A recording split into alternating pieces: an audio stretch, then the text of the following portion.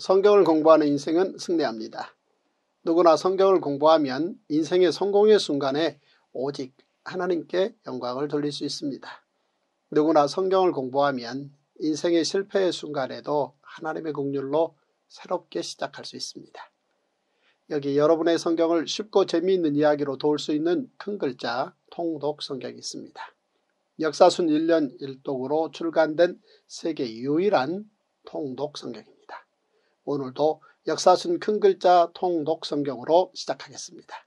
오늘의 그 뉴스 누가복음 1장에서 2장의 통습 다섯 가지 포인트를 먼저 읽어드리겠습니다. 첫 번째 포인트 하나님을 사모하는 두 여인 엘리사벳과 마리아의 순종을 통해 인류 역사에 있어 가장 위대한 사건이 시작됩니다. 누가는 역사가답게 누가복음의 지필 배경과 지필 목적 그리고 지필의 방법을 상세히 밝히며 시작합니다. 당시 예수 그리스도를 증언하는 복음서를 기록하는 일이 많았던 것 같습니다. 누가복음은 누가가 로마 제국의 고위층이었을 데오빌로에게 예수님에 관한 중요한 이야기들을 차근차근 설명하기 위해 집필한 것입니다. 또한 누가는 역사가답게 예수 그리스도에 관한 모든 자료를 조사하고 처음부터 역사 순서대로 자세하고 상세히 기록합니다. 누가는 예수님의 이야기를 세례 요한의 출생 예고에서부터 시작합니다. 예수님 탄생 이야기는 엘리사벳과 마리아가 하나님께 순종하는 놀라운 이야기로 시작합니다. 두 번째 포인트 제사장 사가랴의 아들로 태어난 세례 요한은 성전이 아닌 광야에서 생활합니다. 예수님의 길을 예비한 세례 요한의 탄생 이야기는 사가랴에게 나타난 주의 사자의 전원으로부터 시작됩니다. 주의 사자인 천사는 사가랴에게 나타나 아내 엘리사벳이 아들을 낳을 것이라고 전하는데 이는 사가랴의 기도가 응답된 것이라고 말합니다. 하나님께서 천사를 통해 주신 요한에 대한 말씀은 마치 나시린의 규정을 연상케 합니다.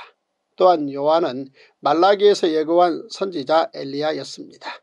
천사가 사가랴에게서 태어날 요한이 예수님의 길을 예비하며 말라기 이후 400년 만에 하나님께서 보내신 선지자가 될 것이라고 말했음에도 사가랴는 그 사실을 믿지 못했습니다. 사가랴가 천사의 말대로 한동안 말을 못하게 된 것은 사가랴의 의심으로 인한 징벌이기도 했지만 사가랴에게 믿음을 주시려는 하나님의 표적이기도 했습니다. 마침내 제사장 가문의 아들로 태어난 요한이 생후 8일째 할례를 받는 달 사가랴의 입이 열리고 천사의 예언대로 아들의 이름을 요한이라 정합니다. 그리고 이 기적의 소식이 온 유대에 퍼지면서 유대의 모든 사람이 세례 요한에게 관심을 가지게 되고 사가랴는 소리 높여 하나님을 찬양합니다. 이제 세례 요한이 주의 길을 예배하기 위해 준비됩니다. 세례 요한은 본격적인 사역을 시작하기 전에 즉 하나님의 말씀이 임하기 전까지 성전이 아닌 빈들에서 생활합니다. 세 번째 포인트 예수님의 베들레헴 탄생은 800년 전 미가 선지자의 예언과 로마 황제의 호적 명령이 맞물린 이야기입니다. 누가복음 2장부터 본격적으로 예수님의 탄생 이야기가 시작됩니다. 예수님께서는 나사렛이 아닌 베들렘에서 태어나십니다. 예수님의 베들렘 탄생은 놀랍게도 미가 선지자의 예언이 성취된 것입니다. 요셉이 해산을 앞둔 마리아를 데리고 베들레헴까지 간 이유는 당시 로마의 황제 옥타비아누스가 로마 제국의 통치를 받는 모든 식민지 사람들에게 정해진 날까지 반드시 자기 고향으로 돌아가 호적하라고 명령했기 때문입니다. 네 번째 포인트 아기 예수님이 이 땅에 오셨을 때 동방 박사들은 예물을 바쳤고 베들레헴의 목자들은 경배하고 찬양했으며 시몬은 감사 기도를 드렸습니다. 베들레헴에서 태어나신 아기 예수님께서는 제사장 나라 율법에 따라 할례를 받고 천사가 말한 대로 이름은 예수라 일컬음을 받습니다. 이후 정해진 때가 이르자 요셉과 마리아는 아기 예수님의 정결 예식을 위해 예루살렘으로 올라갑니다. 이는 제사장 나라 율법대로 첫 아들은 하나님의 것으로 하나님께 속전을 바친 것입니다.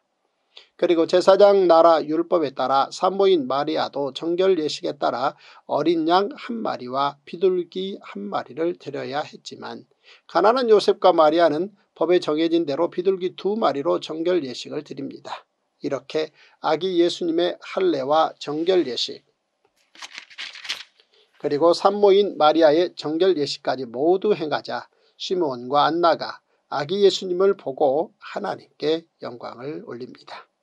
다섯 번째 포인트 누가는 예수님께서 어린 시절 부모와 함께 해마다 제사장 나라의 유월절을 지켰다고 기록합니다.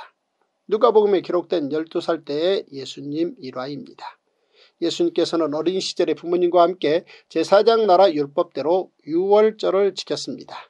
예수님께서는 12살 되던 해 6월절에 예루살렘에 올라갔을 때 성전에서 선생들에게 듣기도 하시며 묻기도 하셨습니다. 이는 유대인들의 교육법으로 토론하며 대화를 하신 것입니다. 이때 예수님과의 대화를 들은 모든 사람이 예수님의 지혜와 대답을 놀랍게 여겼습니다. 모든 성경은 유익합니다. 세상 예화나 성경 요절주의, 권별주의는 끝내 성경을 어렵게 합니다. 모든 성경을 모든 가정에서 다섯 살부터 통성경 스토리로 듣게 되면 성경은 곧 쉽고 재미있는 책이 될 것입니다. 모든 성경 이야기에는 첫째 하나님의 법, 둘째 하나님의 긍휼, 셋째 하나님의 기적이 들어있습니다. 그러므로 성경 한 권이면 충분합니다. 와우! 제296일 누가복음 1장 우리 중에 이루어진 사실에 대하여 처음부터 목격자와 말씀의 일꾼 된 자들이 전하여 준 그대로 내력을 저술하려고 든 사람이 많은지라 그 모든 일을 근원부터 자세히 미루어 살핀 나도 데오빌로 각하에게 차례대로 써보내는 것이 좋은 줄 알았노니 이는 각하가 알고 있는 바를 더 확실하게 하려 함이로라.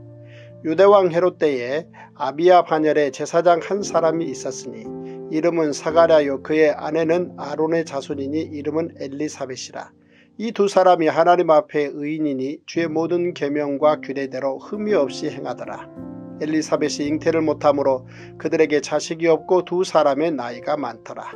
마침 사가랴가 그 반열의 차례대로 하나님 앞에서 제사장의 직무를 행할세 제사장의 전례를 따라 제비를 뽑아 주의 성전에 들어가 분양하고 모든 백성은 그 분양하는 시간에 밖에서 기도하더니 주의 사자가 그에게 나타나 향단 우편에 선지라. 사가랴가 보고 놀라며 무서워하니 천사가 그에게 이르되 사가랴여 무서워하지 말라. 너의 간구함이 들린지라. 내 아내 엘리사벳이 내게 아들을 낳아주리니 그 이름을 요한이라 하라. 너도 기뻐하고 즐거워할 것이요. 많은 사람도 그의 태어남을 기뻐하리니. 이는 그가 주 앞에 큰 자가 되며 포도주나 독한 술을 마시지 아니하며 모태로부터 성령의 충만함을 받아 이스라엘 자손을 주곧 그들의 하나님께로 많이 돌아오게 하겠습니다. 그가 또 엘리야의 심령과 능력으로 주 앞에 먼저 와서 아버지의 마음을 자식에게 거스리는 자를 의인의 슬기에 돌아오게 하고 주를 위하여 세운 백성을 준비하리라. 사가랴가 천사에게 이르되 내가 이것을 어떻게 알리요 내가 늙고 아내도 나이가 많으니이다. 천사가 대답하여 이르되 나는 하나님 앞에 서 있는 가브리엘이라. 이 좋은 소식을 전하여 내게 말하라고 보내심을 받았노라. 보라 이 일이 되는 날까지 내가 말 못하는 자가 되어 능히 말을 못하리니 이는 내가 내 말을 믿지 아니함이거니와 때가 이르면 내 말이 이루어지리라 하더라. 백성들이 사가랴를 기다리며 그가 성전 안에서 지체함을 이상히 여기더라. 그가 나와서 그들에게 말을 못하니 백성들이 그가 성전 안에서 환상을 본 줄 알았더라. 그가 몸짓으로 뜻을 표시하며 그냥 말 못하는 대로 있더니 그 직무의 날이 다 되매 집으로 돌아가니라. 이후에 그의 아내 엘리사벳이 잉태하고 다섯 달 동안 숨어 있으며 이르되 주께서 나를 돌보시는 날에 사람들 앞에서 내 부끄러움을 없게 하시려고 이렇게 행하심이라 하더라. 여섯째 달에 천사 가브리엘이 하나님의 보내심을 받아 갈릴리 나사렛이란 동네에 가서 다윗의 자손 요셉이라 하는 사람과 약혼한 처녀에게 이르니 그 처녀의 이름은 마리아라. 그에게 들어가 이르되 은혜를 받은 자여 평안할지어다. 주께서 너와 함께 하시도다 하니 처녀가 그 말을 듣고 놀라 이런 인사가 어찌함인가 생각하매 천사가 이르되 마리아여 무서워하지 말라 내가 하나님께 은혜를 입었느니라 보라 내가 잉태하여 아들을 낳으리니 그 이름을 예수라 하라 그가 큰 자가 되고 지극히 높으신 이의 아들이라 일컬어질 것이요 주 하나님께서 그 조상 다윗의 왕위를 그에게 주시리니 영원히 야곱의 집을 왕으로 다스리실 것이며 그 나라가 무궁하리라. 마리아가 천사에게 말하되 나는 남자를 알지 못하니 어찌 이 일이 있으리이까. 천사가 대답하여 이르되 성령이 내게 임하시고 지극히 높으신 이의 능력이 너를 덮으시리니 이러므로 나실 바 거룩한 이는 하나님의 아들이라 일컬어지리라. 보라 내 친족 엘리사벳도 늙어서 아들을 배었느니라. 본래 임신하지 못한다고 알려진 이가 이미 여섯 달이 되었나니 대저 하나님의 모든 말씀은 능하지 못하심이 없느니라. 마리아가 이르되 주의 여종이 오니 말씀대로 내게 이루어지이다 하매 천사가 떠나가니라. 이때 마리아가 일어나 빨리 산골로 가서 유대 한 동네에 이르러 사가랴의 집에 들어가 엘리사벳에게 문안하니 엘리사벳이 마리아가 문안함을 들음에 아이가 복중에서 뛰노는지라 엘리사벳이 성령의 충만함을 받아 큰 소리로 불러 이르되 여자 중에 내가 복이 있으며 내 태중의 아이도 복이 있도다. 내 주의 어머니가 내게 나아오니 이 어찌된 일인가 보라 내 문안하는 소리가 내 귀에 들릴 때에 아이가 내 복중에서 기쁨으로 뛰놀았도다. 주께서 하신 말씀이 반드시 이루어지리라고 믿은 그 여자에게 복이 있도다. 마리아가 이르되 내 영혼이 주를 찬양하며 내 마음이 하나님 내 구주를 기뻐하였으면 그의 여종의 비천함을 돌보셨습니다. 보라 이제 우로는 만세에 나를 복이 있다 일컬이로다. 능하신 이가 큰 일을 내게 행하셨으니 그 이름이 거룩하시며 극률하심이 두려워하는 자에게 대대로 이르는도다. 그의 팔로 힘을 보이사 마음의 생각이 교만한 자들을 흩으셨고 권세 있는 자를 그 위에서 내리치셨으며 비천한 자를 높이셨고 줄이는 자를 좋은 것으로 배불리셨으며 부자는 빈손으로 보내셨도다. 그종 이스라엘을 도우사 극률이 여기시고 기억하시되 우리 조상에게 말씀하신 것과 같이 아브라함과 그 자손에게 영원히 하시리로다 하니라. 마리아가 석 달쯤 함께 있다가 집으로 돌아가니라. 엘리사벳이 해산할 기한이 차서 아들을 낳으니 이웃과 친족이 주께서 그를 크게 극률이 여기심을 듣고 함께 즐거워하더라. 8일이 되매 아이를 할례하러 와서 그 아버지의 이름을 따라 사가랴라 하고자 하더니 그 어머니가 대답하여 이르되 아니라 요한이라 할 것이라 하매 그들이 이르되 내 친족 중에 이 이름으로 이름한 이가 없다 하고 그의 아버지께 몸짓하여 무엇으로 이름을 지으려 하는가 물으니 그가 서판을 달라 하여 그 이름을 요한이라 쓰매 다 놀랍게 여기더라. 이에 그 입이 곧 열리고 혀가 풀리며 말을 하여 하나님을 찬송하니 그 근처에 사는 자가 다 두려워하고 이 모든 말이 온 유대 산골에 두루 퍼지매 듣는 사람이 다 이 말을 마음에 두며 이르되 이 아이가 장차 어찌 될까 하니 이는 주의 손이 그와 함께 하심이라라. 그 붙인 사가랴가 성령의 충만함을 받아 예언하여 이르되 찬송하리로다 주 이스라엘의 하나님이여 그 백성을 돌보사 속량하시며 우리를 위하여 구원의 뿔을 그 종 다윗의 집에 일으키셨으니 이것은 주께서 예로부터 거룩한 선지자의 입으로 말씀하신 바와 같이 우리 원수에게서와 우리를 미워하는 모든 자의 손에서 구원하시는 일이라. 우리 조상을 극률히 여기시며 그 거룩한 언약을 기억하셨으니 곧 우리 조상 아브라함에게 하신 맹세라. 우리가 원수의 손에서 건지심을 받고 종신토록 주의 앞에서 성결과 의로 두려움이 없이 섬기게 하리라 하셨도다. 이아이여 내가 지극히 높으신 이의 선지자라 일컬음을 받고 주 앞에 앞서가서 그 길을 준비하여 주의 백성에게 그 죄 사함으로 말미암는 구원을 알게 하리니 이는 우리 하나님의 극률로 인함이라 이로써 돋는 해가 위로부터 우리에게 임하여 어둠과 죽음의 그늘에 앉은 자에게 비치고 우리 발을 평강의 길로 인도하시리로다 하니라. 아이가 자라며 심령이 강하여지며 이스라엘에게 나타나는 날까지 빈들에 있으니라. 누가복음 2장 그때 가이사 아구수도가 영을 내려 천하로 다 호적하라 하였으니 이 호적은 구레뇨가 수리아 총독이 되었을 때 처음 한 것이라. 모든 사람이 호적하라 각각 고향으로 돌아가매 요셉도 다윗의 집 족속이므로 갈릴리 나사렛 동네에서 유대를 향하여 베들레헴이라 하는 다윗의 동네로 그 약혼한 마리아와 함께 호적하러 올라가니 마리아가 이미 잉태하였더라. 거기 있을 그때 해산할 날이 차서 첫 아들을 낳아 강보로 싸서 구유에 누였으니 이는 여관에 있을 곳이 없음이러라. 그 지역의 목자들이 밤에 밖에서 자기 양떼를 지키더니 주의 사자가 곁에 서고 주의 영광이 그들을 두루 비춤에 크게 무서워하는지라. 천사가 이르되 무서워하지 말라 보라 내가 온 백성에게 미칠 큰 기쁨의 좋은 소식을 너희에게 전하노라 오늘 다윗의 동네에 너희를 위하여 구주가 나섰으니 곧 그리스도 주시니라 너희가 가서 강보에 쌓여 구유에 뉘어 있는 아기를 보리니 이것이 너희에게 표적이니라 하더니 호련히 수많은 천군이 그 천사와 함께 하나님을 찬송하여 이르되 지극히 높은 곳에서는 하나님께 영광이요 땅에서는 하나님이 기뻐하신 사람들 중에 평화로다 하니라. 천사들이 떠나 하늘로 올라가니 목자가 서로 말하되 이제 베들레헴으로 가서 주께서 우리에게 알리신 바 이 이루어진 일을 보자 하고 빨리 가서 마리아와 요셉과 구유에 누인 아기를 찾아서 보고 천사가 자기들에게 이 아기에 대하여 말한 것을 전하니 듣는 자가 다 목자들이 그들에게 말한 것들을 놀랍게 여기되 마리아는 이 모든 말을 마음에 새기어 생각하니라. 목자들은 자기들에게 이르던 바와 같이 듣고 본 그 모든 것으로 인하여 하나님께 영광을 돌리고 찬송하며 돌아가니라. 할례할 8일이 되매 그 이름을 예수라 하니 곧 잉태하기 전에 천사가 일컬은 바르라. 모세 법대로 정결 예식의 날이 참해 아기를 데리고 예루살렘에 올라가니 이는 주의 율법에 쓴 바 첫 해에 처음 난 남자마다 주의 거룩한 자라 하리라 한 대로 아기를 죽게 드리고 또 주의 율법에 말씀하신 대로 산비둘기 한 쌍이나 혹은 어린 집비둘기 둘로 제사하려 함이더라.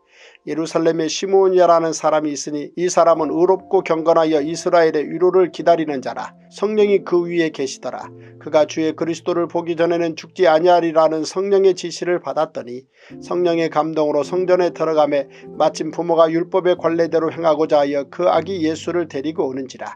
시몬이 아기를 안고 하나님을 찬송하여 이르되 주제여 이제는 말씀하신 대로 종을 평안히 놓아 주시는도다. 내 눈이 주의 구원을 보았사오니 이는 만민 앞에 예비하신 것이요 이방을 비추는 빛이요 주의 백성 이스라엘의 영광이니이다 하니 그의 부모가 그에 대한 말들을 놀랍게 여기더라. 시므온이 그들에게 축복하고 그의 어머니 마리아에게 말하여 이르되 보라 이는 이스라엘 중 많은 사람을 패하거나 흥하게 하며 비방을 받는 표적이 되기 위하여 세움을 받았고 또 칼이 내 마음을 찌르듯 하리니 이는 여러 사람의 마음의 생각을 드러내려 함이니라 하더라. 또 아셀지파 바누엘의 딸 안나라 하는 선지자가 있어 나이가 매우 많았더라. 그가 결혼한 후 일곱 해 동안 남편과 함께 살다가 과부가 되고 84세가 되었더라. 이 사람이 성전을 떠나지 아니하고 주야로 금식하며 기도함으로 섬기더니 마침 이때에 나와서 하나님께 감사하고 예루살렘의 속량을 바라는 모든 사람에게 그에 대하여 말하니라. 주의 율법을 따라 모든 일을 마치고 갈릴리로 돌아가 본 동네 나사렛에 이르니라. 아기가 자라며 강하여지고 지혜가 충만하며 하나님의 은혜가 그의 위에 있더라. 그의 부모가 해마다 6월절이 되면 예루살렘으로 가더니 예수께서 12살 되었을 때에 그들이 이 절기의 관례를 따라 올라갔다가 그날들을 마치고 돌아갈 때에 아이 예수는 예루살렘에 머무셨더라. 그 부모는 이를 알지 못하고 동행 중에 있는 줄로 생각하고 하룻길을 간 후 친족과 아는 자 중에서 찾되 만나지 못함에 찾으면서 예루살렘에 돌아갔더니 사울 후에 성전에서 만난즉 그가 선생들 중에 앉으사 그들에게 듣기도 하시며 묻기도 하시니 듣는 자가 다 그 지혜와 대답을 놀랍게 여기더라. 그의 부모가 보고 놀라며 그의 어머니는 이르되 아이야 어찌하여 우리에게 이렇게 하였느냐 보라 내 아버지와 내가 근심하여 너를 찾았노라. 예수께서 이르시되 어찌하여 나를 찾으셨나이까 내가 내 아버지 집에 있어야 될 줄을 알지 못하셨나이까 하시니 그 부모가 그가 하신 말씀을 깨닫지 못하더라. 예수께서 함께 내려가서 나사렛에 이르러 순종하여 받드시더라. 그 어머니는 이 모든 말을 마음에 두니라. 예수는 지혜와 키가 자라가며 하나님과 사람에게 더욱 사랑스러워 가시더라.